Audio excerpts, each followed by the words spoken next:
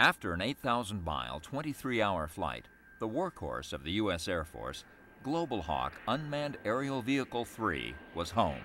It landed at Edwards Air Force Base in Southern California on the morning of February 20th.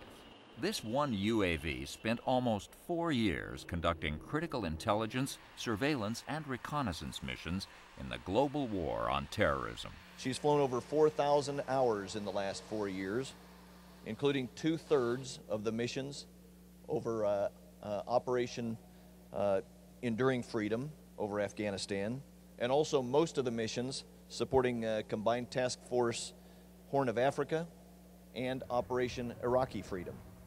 This particular Global Hawk was built as a test asset, but was sent overseas after the tragedy of 9 11. General Tommy Franks, the commander of Central Command at the time, needed to know what was going on in Afghanistan. He needed eyes on the battlefield. That's exactly what Global Hawk provides. The most recent deployment saw the Global Hawk system mature into an invaluable intelligence, surveillance, and reconnaissance platform sought after by battlefield commanders around the world. During a typical 24 hour mission, Global Hawk can image vast areas and provide pinpoint targeting information to battlefield commanders in near real time. The warfighters have been provided with over 35,000 images, over hundreds of stories. This Global Hawk was an important intelligence asset during the infamous sandstorm of Operation Iraqi Freedom. But during this entire time, Global Hawk using its weather penetrating radar system, was still able to operate high above the battlefield and image an Iraqi Republican Guard division.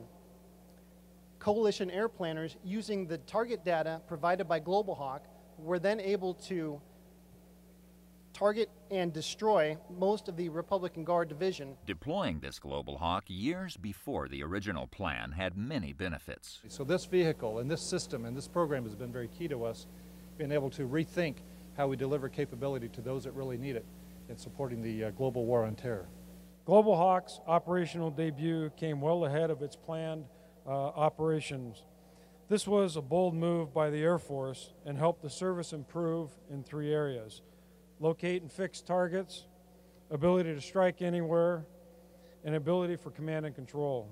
The Global Hawk Air Force team and Northrop Grumman worked closely together with one goal help protect our troops overseas. And saved countless lives by identifying hostile targets long before they were able to threaten American ground forces. UAV 3 was sent home because two production version Global Hawks were deployed.